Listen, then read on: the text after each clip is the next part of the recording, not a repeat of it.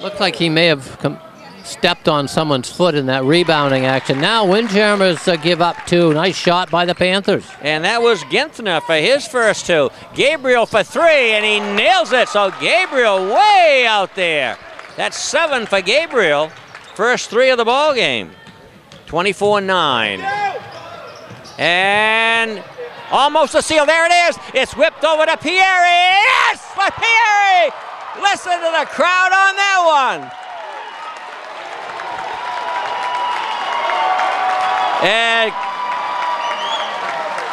we have a timeout on the floor by Medomak Valley as the score goes to 26 to 9 on an exclamation point put up there by Pieri.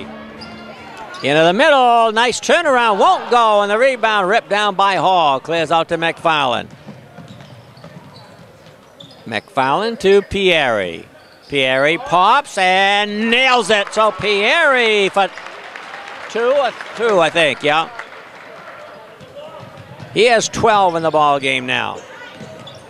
This is Oja and stolen away. They get watch this one, folks. McFarland dunks it again. Oh, what a beautiful one-handed dunk by McFarland. Another exclamation point by McFarland.